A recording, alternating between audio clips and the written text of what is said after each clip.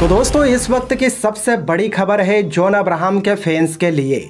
जी हाँ दोस्तों, बॉलीवुड के एक्शन सुपरस्टार जॉन अब्राहम, जिनकी इस साल अभी तक तो हमें कोई फ़िल्म देखने को नहीं मिली थी, लेकिन अब लग रहा है कि आने वाले महीनों में जॉन अब्राहम के हमें बैक टू बैक कई सारी फ़िल्में देखने को मिलेगी।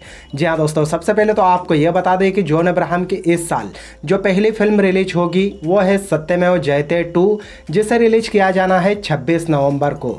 लेकिन दोस्तों, अभी पिछले दिनों ही जॉन अब्राहम की एक और फ़िल्म, जिसका नाम है एक विलन रिटर्न, जिसके रिलीज़ डेट का भी अनाउंसमेंट हुआ और एक विलन रिटर्न रिलीज़ होगी 8 जुलाई 2022 को।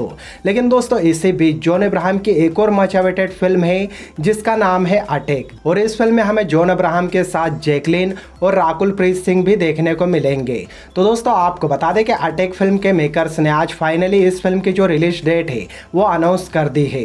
जी हाँ दोस्तों, आपको बता दें कि जॉन अब्राहम के अटैक फ़िल्म को रिलीज़ किया जाना है 2022 की रिपब्लिक डे पर। जी हाँ दोस्तों, जॉन अब्राहम की अटैक फ़िल्म 26 जनवरी 2022 के मौके पर रिलीज़ होगी।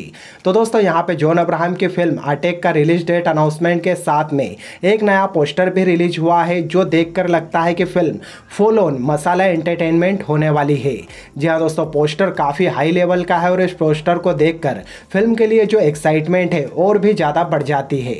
तो अब देखते हैं दोस्तों कि जॉन अब्राहम की आने वाली फ़िल्मों में कौन सी फ़िल्म बॉक्स ऑफ़िस पर सबसे ज़्यादा कमाई करती है। Satyameva Jayate two, Ek villain return या फिर अटैक। आपको क्या लगता है दोस्तों, इन तीनों फ़िल्मों में सबसे ज़्यादा कमाई किस फ़िल्म की होगी? कमेंट बॉक्स में कमेंट करके ज़रूर बताएँ और आपके अपने इस चैनल ए मीडिया को सब्सक्राइब ज़रूर करें।